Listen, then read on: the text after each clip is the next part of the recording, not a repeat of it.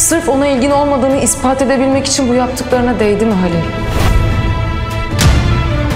Benim hayallerim satılık değil. Ne yapacağım ben seninle? Sana teslim olmaktansa her şeyi yok ederim daha iyi. Demek dediğini yaptın. İstediği olmayınca etrafı yakıp yıkan tek bir insan tanıyorum ben, o da sensin. Önce beni umutlandırıp bulutların üzerine çıkardı. Sonra da yere çakılmamı sağladı. Suç bende. Sana hiç güvenmemeliydim. Nefret ediyorum Zeynep'ten. Ben şimdi ne diyeceğim aileme? Neden kabul etmedin Zeynep? Bir daha sana güvenip asla hayal kurmayacağım abla.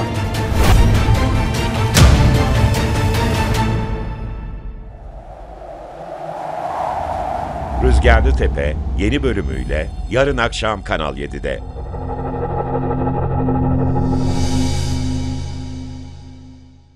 Daha fazla video izlemek için kanalımıza abone olabilir, ilk izleyen olmak isterseniz bildirimleri açabilirsiniz.